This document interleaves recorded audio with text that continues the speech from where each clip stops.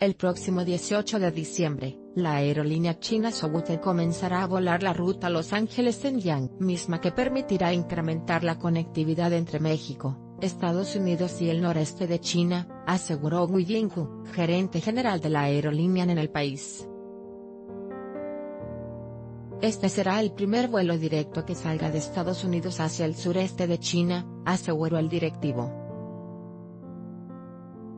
Por separado, Diego Yang, director de Mercadotecnia de la aerolínea en México, aseguró ante representantes de las 30 mayores agencias de viajes del país que la empresa es la más grande de Asia, y la cuarta más grande del mundo. Llegamos a México el 11 de abril del año pasado e hicimos historia porque fuimos la primera aerolínea china en México con el vuelo directo de la Ciudad de México a Guangzhou, recordó. El directivo detalló que hasta octubre pasado esta ruta transportó a unos 95 mil pasajeros de ambas nacionalidades en su primer año de operaciones.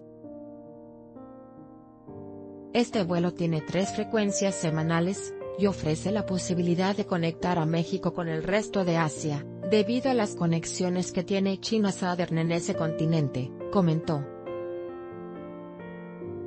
La ruta que conectará Los Ángeles con Shenyang abundó, tendrá tres vuelos semanales y sin sin escalas, con capacidad para 276 pasajeros en un Airbus A330-300.